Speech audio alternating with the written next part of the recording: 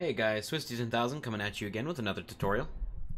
It occurred to me after I made the first Gary's Mod tutorial that I didn't pick a complex enough character. I've gotten a couple messages, I had a couple friends tell me, hey, uh, why didn't you pick a character with more textures on it? So I did. I went and got Shrek. Now he's only got two. It's not that complex, but in the uh, honor of layers, I thought it would be pretty funny to do Shrek. This should still apply to any model with multiple textures, what I'm about to show you, so that's why I'm not too worried about the fact that it's only two. So let's get started. I'm going to go ahead and open a new Blender scene. I'm going to delete the light so we don't have to deal with weird lighting. File, import, SMD. Let me go to my Shrek. As an onion does, Shrek has many layers, many being two, for this exact model. So what you do to start out to figure out uh, kind of like which layers go to what, just right click the model. Once you've right clicked the model, hit tab. Go and open up a new window like we did last time. And we're going to open up UV Image Editor. Go down to the bottom right and hit open. And highlight all of your textures that you extracted for your model. Hit open image Alright, now we are good to start doing this. Once you've hit tab and you have your character in like a wireframe mode, go over here to this black and orange ball. All these materials right here, these are vertices that need to be assigned different uh, materials. So the way we do that is we hit select, and that has now selected all vertices that need Shrek's body. You go down to your textures, and you match Shrek body. And let me switch to textured mode real quick. Make sure you switch. There we go. Shrek now has clothes on. Pretty important. Go ahead and hit tab, switch back. We need to get body 2.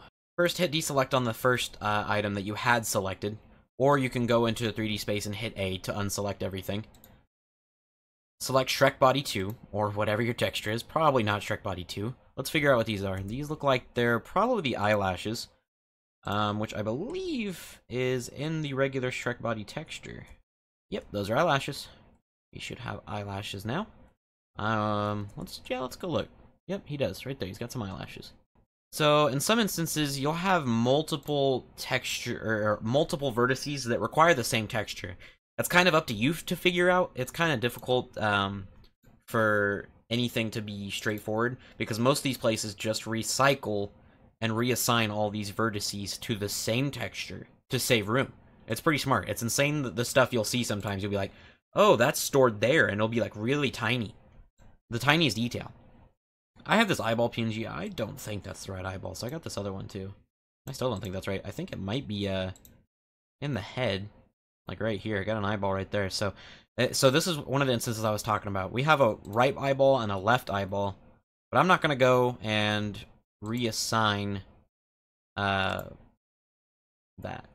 First, select right eyeball. If it's not already highlighted, hit A. Click left eyeball. Hit select, hit A. Now we should have control of both eyeballs. We need to go down to Shrek body. Nope, that's the wrong texture. Sorry about that. Shrek head. Go down to Shrek head. Shrink it down, shrink it down. Hold, hit G and you'll move the vertices over the eyeball. Now, this isn't recommended. If you have something more, uh, more streamlined than this, go for it. But I'm recycling the textures. It's VR chat. It's Shrek. Nobody cares that much. But let's just say, for instance, if you did want to assign it to probably its correct, uh, its correct texture, it would be this. I think it's transparent, so it might not be. That might be some details. And so would that, because it's also transparent.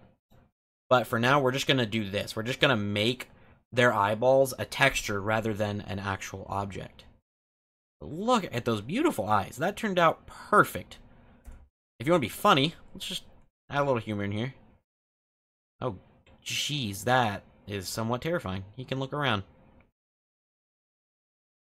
You can, like, shrink it and make his eyes, like, really big. Or like really, like he's gonna kill you, Tiny. But yeah, it's fun to mess with uh, Blender models sometimes. Once you do that, just go to UV Edit, hit A, go into your 3D space, hit A, and deselect everything. And then go down to Shrek Head, hit Select. Look for the Shrek Head texture. And there it is. Now you think, why aren't we moving the UV wrapping or the UV unwrapping over the texture? The answer is I don't really know why it just works. You can though, and nothing really changes. For a second it will. And then you'll be brought right back. Oh yeah, if you really want to be terrifying, you could do that. Oh yeah, look at that. But, since it did work, why would you fix it something that is not broken? Oh, now the eyes are huge. Yeah, as you can see, I somehow managed to make one eye tiny and one eye big, but that shouldn't happen as long as you don't mess with your materials like I did. As you can see, sometimes there are instances where we have more complex textures over here, and uh, should have probably picked a little bit better of a model for the tutorial. But yeah, I believe that's it. If you liked the video, go ahead and hit a like and subscribe for me. And again, if you have any questions, I will answer them in the comment. Thanks for watching.